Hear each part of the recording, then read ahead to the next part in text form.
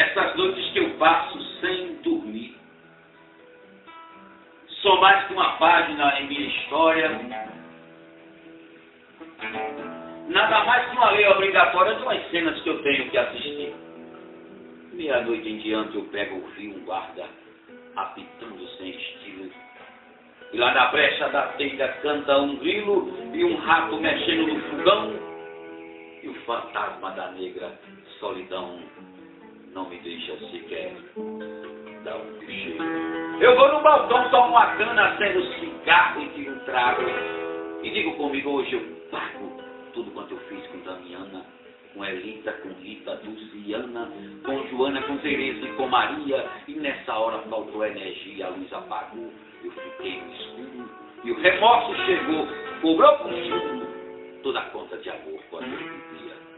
Mas veio o sol rasgando a luz do dia eu dentro de um poço de ressaca e a luz do sol ficou muito mais opaca, muito mais que a falta de energia.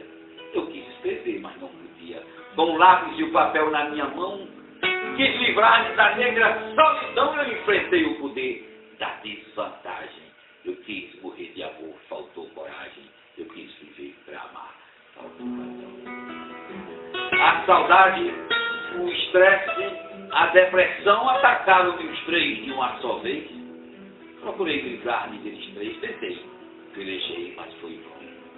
Enquanto o sol exibia seu clarão, para todos mostrando o brilho puro, mas para mim se tornava mais escuro do que quando ainda estava posto. Resta agora eu chorar pelo desgosto que eu hei de sentir no meu futuro. Eu sinto agora é um rio quadrado transbordando nas ruas do meu rosto. Cada lágrima que brota é um desgosto que eu dei às mulheres no passado. Eu que nunca pensei ser julgado em fórum em que Deus é o juiz. Condenado, eu já estou pelo que fiz e perdi a questão de 7 a 0, sem gozar daquilo que mais quero, o direito de amar e ser feliz. Hoje eu sou nada mais que um detento em cárcere que fiz com meu orgulho, onde aqui o silêncio é o barulho que perturba demais meu pensamento. A saudade me serve de alimento, a tristeza aqui o meu lazer, o direito da vida meu prazer, até quando bater meu coração.